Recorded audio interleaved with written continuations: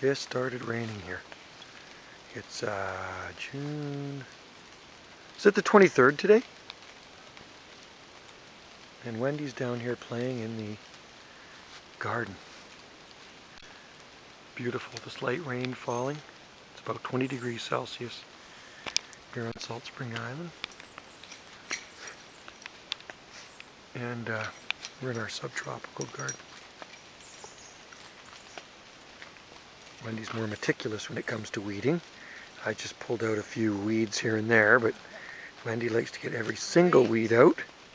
Huh? I pulled the creeping blackberries out. Fun, eh? Yeah. It's beautiful. It is nice. It's so green. It's just lush. Wendy loves to garden. Yeah. Lots of palms in here. Yeah, and this one needs to be pruned off on your bird's nest here. Okay. That one right there. Has balls. Beautiful ferns, native ferns. So we've got lots of native ferns in here. This is all native. Can I say joke? Yeah, what is that?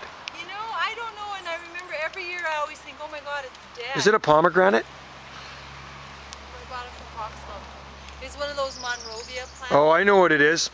It's a crepe myrtle, I think. maybe I, that's I think that's what it is. It's a crepe myrtle. I was looking at the leaves. It's like the ones growing in front of the hospital. Yeah, So It's very